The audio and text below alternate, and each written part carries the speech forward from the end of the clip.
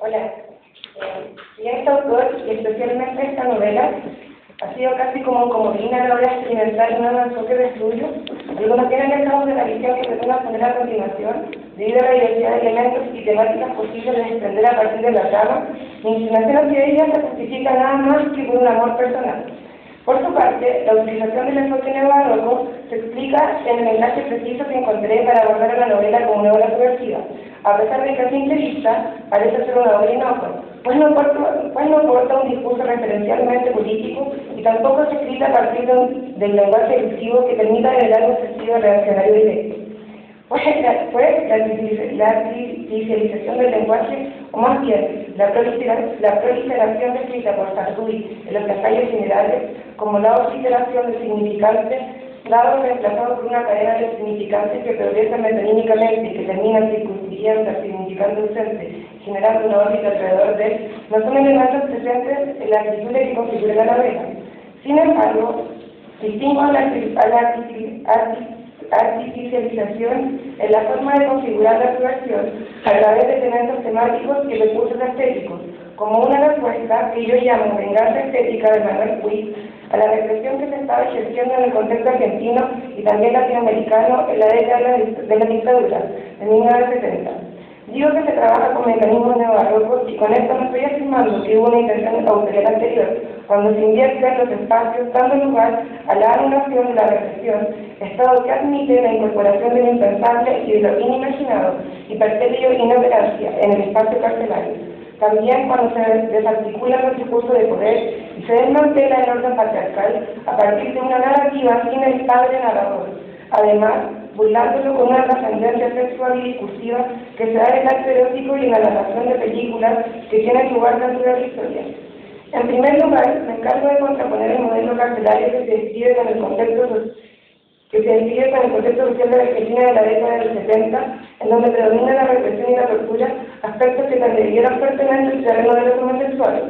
Para hablar sobre esto, me sirvo de lo que Néstor Fernández escribe en Prosas Plebeyas, en el capítulo El sexo de las locas, en donde dice que el arte de ir a putos en la Argentina se convierte casi en un deporte popular, y reflexiona que esto precede al genocidio de la dictadura y que quizás ayuda a explicarlo. En este sentido, Berlondien compara la Argentina con la Cuba castrista, en donde la lucha muchas veces no era revolucionarios versus, versus contrarrevolucionarios, sino que machos contra maricas. Y dice que en Argentina los machos no necesitaron ninguna revolución para matar putos. Para hacer la contraposición, utiliza la noción de panóptico que Michel Foucault acuña en su libro Vigilar y Castigar. Me apropio de este término desligar el estudio de la vigilancia, desestabilizando este concepto en la medida que la novela la vigilancia se presenta de manera débil y engañosa, contraponiéndose al panóptico, el cual se define por su fusión represiva directa en un espacio cerrado en todos sus puntos, en donde todos los movimientos están controlados, aspecto que le otorga un omnipotente vigilante, el cual maneja y conoce absolutamente todo. El poder se ejerce por entero a través de una estructura jerárquica en la que cada individuo está localizado y es examinado constantemente. El objetivo del panóptico es enfatizar la soledad del individuo mediante un mecanismo, sin cesar y sin ser visto. En este sentido, el espacio carcelario se vuelve un antiguo espacio real, en él entonces lugar el amor homosexual y la conversación política, lo cual se castiga y se reprime en el espacio exterior. Siguiendo con la lógica de las antiguas, también podemos decir que ocurre una nueva relación de contraposición. En un primer momento, entre los protagonistas se da una relación de poder que Molina ejerce sobre Valentín al coludirse con los militares. En este caso, es el, es el homosexual quien ejerce la violencia sobre el guerrillero, al invertir la situación, Molina puede vengarse de lo que sucede en la Argentina de los años 70. En la cárcel se disloca el orden, el homosexual ya no es el perseguido, aunque tampoco el que persigue, sino el que traiciona y acusa. Somos testigos de una relación de poder que a su vez no impide que la libertad de la cárcel se contraponga a la represión del exterior, que luego se tuerce cuando se invierten los papeles en el erótico, llegando esta relación de poder a un punto confuso con la venganza estética que Puig encarga a Molina se anula luego de que la relación sexual se consuma, ya que ahora es el homosexual quien queda sujeto a la voluntad del guerrillero, a pesar de que antes Molina fue quien llevó las redes de la relación, seduciendo a través del timbre cinematográfico que iba tejiendo para narrar, atrapar a su compañero. El acto sexual, además, provoca una metamorfosis en Molina. Molina ya no se deja corromper por los castigadores y se consolida como la heroína de su propia película, reforzándose como el sujeto femenino que siempre fue, confirmando así su propio tratamiento. Cito, si todos los hombres fueran como mujeres, no habría torturadores. Eh, esa primera de la novela, la de la mujer la De esta manera, Puig se hace cargo del universo a través de la figura de la antípoda y en este sentido, su contraposición funciona como maqueta de la realidad. Lo que sucede en la cárcel, sin, sin alguna, en la sociedad se castiga. Esta visión de la sociedad deforma el mundo como mirándolo a través de un espejo, siguiendo el estilo que plantea Jean Roussel en su libro Irse y el pavo real. Cito, no se pueden ver bien las cosas del mundo más que mirándolas al revés. Esta lectura invertida hace posible la, correspondencia entre imaginario y episteme, pertinente citar a Sartori cuando dice, dime cómo imaginas el mundo y te diré en qué orden incluyes, a qué sentido perteneces. Se puede comprobar que en este sentido la novela logra expresar en su estructura la maqueta, la idea del universo comprendido bajo la teoría del Big Bang, en donde percibimos el universo en expansión. Unifican dos abstracciones, el espacio y el tiempo, conduciendo así la imagen del universo hacia una energía pura. pura. Se constituye entonces un sistema dinámico y explosivo, en donde, la, en donde se enfrenta la unificación a la, la discriminación, un mundo de estructura, de corte insalvable, en donde lo fragmentario y lo múltiple se enfrenta a lo definido. Dentro de esto, ubicamos la idea del sujeto que se contrae y se disemina según lo que le permite el espacio. El espacio que el exterior fractura al sujeto como si estuviera viéndose a través del espejo roto y en cambio el espacio carcelario lo dispersa, lo expande a través del discurso.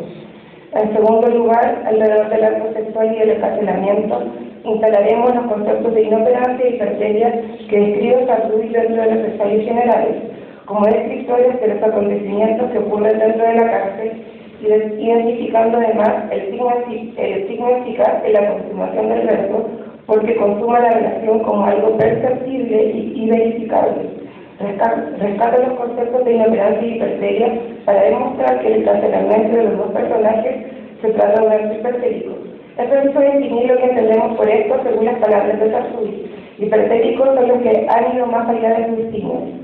Un acto hipertético entonces se basa en el derroche, es un malgasto, un despistado, se trata de un objeto que está más allá de sus fines para llegar a decir que el acto de encarcelamiento es un acto hipertético, pienso que encarcelar a estos sujetos en términos de corrección resulta inútil. El Estado argentino invierte la sanación de la sociedad para aplacar el marxismo que, el marxismo que amenaza el orden dictatorial y para exterminar la perversión homosexual, para poner orden.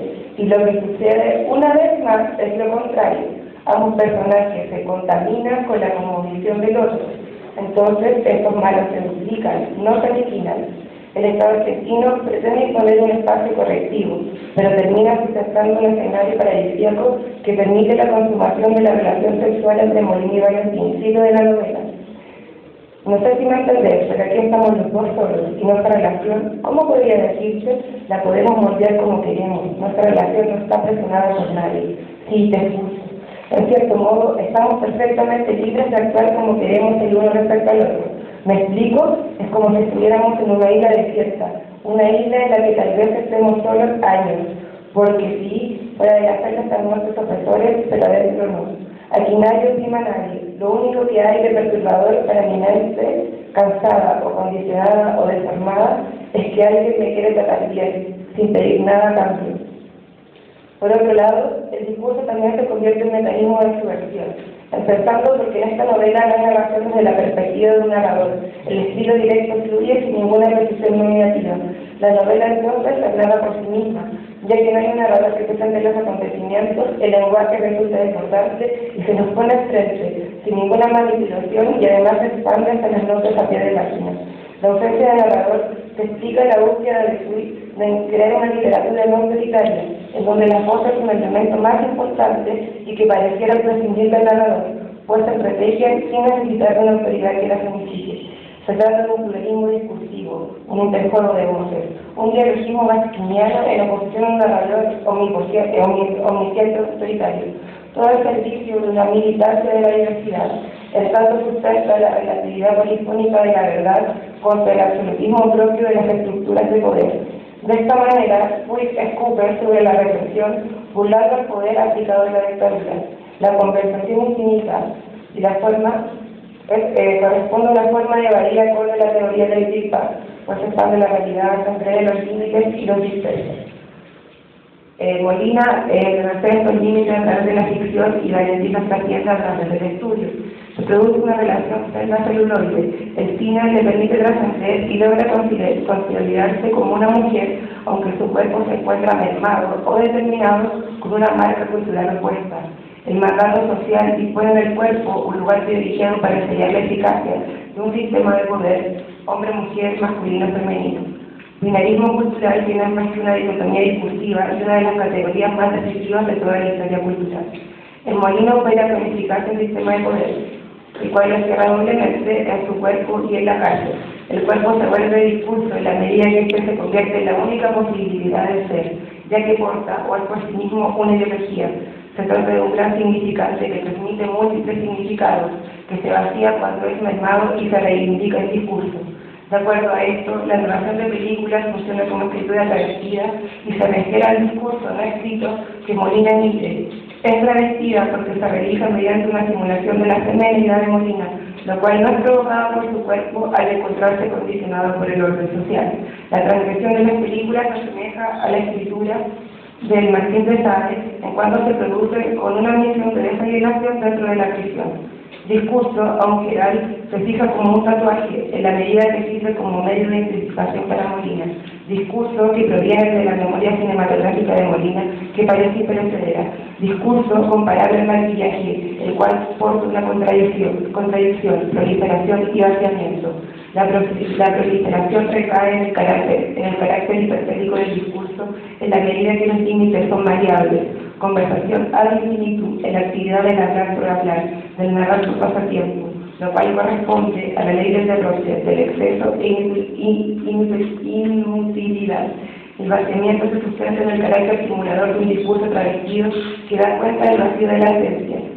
No existe esencia y esto es posible demostrarlo a través de la teoría del travesti, pues la mujer no es el límite de la simulación, porque los travestis son hipertéticos y van más allá de sí las mujeres son las que los imitan. El travesti es una super mujer. En este sentido, la narración de Molina, desde una perspectiva femenina, le, permite transfigurarse y convertirse en una mujer. El travesti es una representación exagerada sobre lo femenino para dar cuenta que, la esencia no existe, del que el travesti puede llegar a ser más femenino que la mujer. El lo masculino tampoco existe. Lo único que existe es el discurso. Y me atrevo a decir que este vaciamiento de la esencia de la identidad sexual es el tratamiento de la novela, lo cual puede reflejarse en el siguiente pasaje. Cuando dice que, en el, en el siguiente diálogo, mejor dicho, cuando me quedo solo en la cama, yo tampoco soy vos, soy otra persona, que no es ni hombre ni mujer, pero que se siente, vacila y completa valetín fuera de libro. Sí, ahí está. ¿Cómo lo sabes? Pues qué es lo que siento yo. Molina transita desde una masculinidad a una feminidad, pasando además por un punto cero, en donde se excluye de ambos encarcelamientos genéricos. Cito de nuevo, ustedes los hombres son tan competitivos como las mujeres.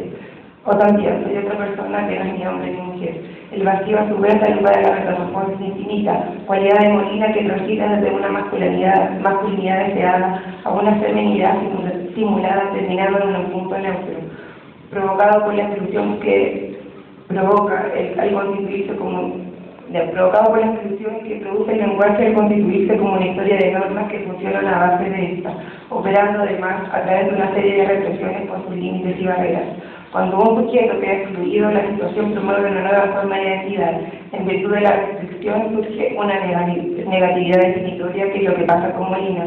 En este sentido, el travesti es un vacío, un no ser, un desaparecer. Si no hay esencia, no hay norma, repito. Con la desarticulación de este concepto logra liberarse Molina de la prisión que significa su cuerpo, hacer el oficiante equivocado para su discurso que se libera al producirse desde una voz netamente femenina. Hemos visto que la narración funciona como arma de seducción. Para definir esto utilizo el libro de John Badrillar de la seducción, que se instala desde la dicotomía femenina masculina para establecer su discurso para luego de, construirlo, al plantear que lo femenino es quien porta la facultad exclusiva de la seducción y con esto fuerza el pensamiento que fue sustento de, la, de una revolución sexual. Lo femenino como históricamente protegido y abusado. Ahora, lo femenino es lo que domina porque posee su propio poder más envolvente, la seducción. De esta manera se consagra la feminidad de Molina en cuanto logra seducir a Valentina a través del sexo y del discurso. Por último, luego de esta seducción se abre paso a la unión sexual que funciona como acto de transgresión y consumación del deseo. El encuentro sexual, igual que la grabación de películas, permite el desciframiento y la expansión acorde a la teoría del Big Bang. Sangre y creación del cautiverio en la medida que se trata de una distracción de lo implícitamente prohibido. Bataille, en su libro El erotismo, nos dice que hay un carácter interdependiente de la prohibición y la transgresión. No hay ley que no se pueda violar. La transgresión entonces es un acto de razón, no de animalidad, pues la prohibición es un conjunto que define la vida social. Acto sexual es una transgresión en varios niveles, ya que libera la celda y expande los límites. También se constituye como un movimiento inoperante, es imperceptible, ya que nadie cambia, nada cambia después de que ocurre. En este sentido, burla la vigilancia. Es epistérico porque no tiene ningún fin más que el placer. Para Bataille, la muerte y la sexualidad constituyen una fiesta que la naturaleza goza de celebrar, una orgía del aniquilamiento, momentos agudos de una fiesta en donde se celebra la inagotable multitud de los seres. Por lo tanto, sexualidad y reproducción son hipertéricas, un ilimitado despilfarro contrario al deseo de conservación de cada propio ser. Y siguiendo con Bataille, podemos decir que la experiencia erótica se produce un desequilibrio en el cual el ser se cuestiona conscientemente, el ser se pierde objetivamente, pero entonces el sujeto identifica con el objeto que se va. El Dios se pierde a sí mismo y se enfrenta a la pérdida de su voluntad. Cuando la recupera, se encuentra inmersa en la angustia, el despertar del pensamiento en el filosofar nos hace vivir una pequeña muerte. Esta pérdida de Dios y consecuencia de esta pequeña muerte permite la metamorfosis de ambos personajes en un primer momento y luego da lugar a la simbiosis, la cual se puede ver en el siguiente pasaje. Ahora, sin querer, me llevo la mano a mi cerca buscándome el, lunar. ¿Qué lunar? Yo tengo un lunar, no vos. Sí, ya sé, pero me llevé la mano ceja para tocarme el lunar que no tengo. Esto se expresa también en la muerte de los personajes que provoca la reproducción del discurso homosexual y también político, ya que Molina muere en función de una comienda política y Valentín muere murmurando un discurso delirante en donde recuerda a una feminidad extrañada. Gracias.